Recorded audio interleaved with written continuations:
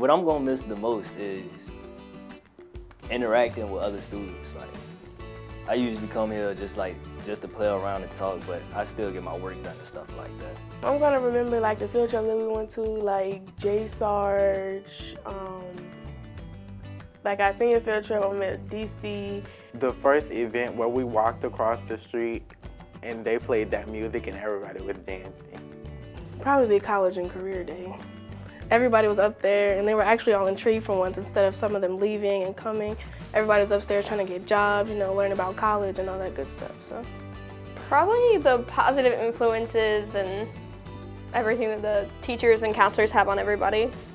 They're definitely motivational and they push you to get you to where you want to be. the teachers because the teachers are what helped me get through the school. Like without them, I wouldn't be where I am right now. My electricity teacher, Mr. Klein, influenced me the most because he showed me how you can come from nothing, but the way you just encourage yourself and the way you just, your determination just shows that you can get a lot.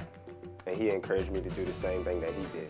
Miss Blue, my early childhood development teacher, she's definitely pushed me through all of the hard times and she just encouraged me to do my work. Definitely say Miss Butler, and I would definitely say Miss Bacon and Miss Carter and Miss Smith. Those are like my go-to people when I have a problem.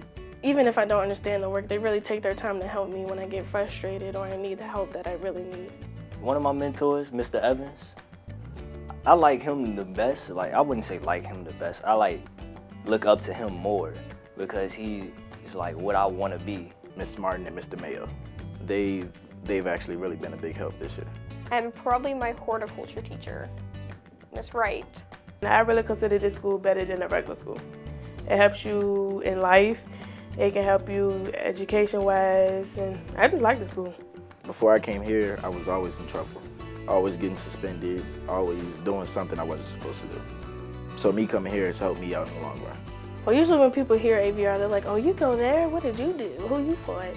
And it's just that this is a place that can really help you instead of being in a regular school environment with so many people and a lot harder work than probably we do. We have a lot of talent graduating this year. We have a lot of people who have really come a long way in their life and I just know that they're going to do good things. All the students that came from 2018 are either employed in college or enlisted. Y'all, we made it. We graduating. Turn up. I had fun with y'all this year. I love y'all. I mean, if you're not 2018, then I don't know what to tell you. 2018 is the best year to go.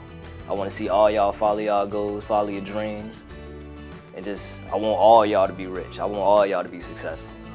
Bye y'all, I'm out of here.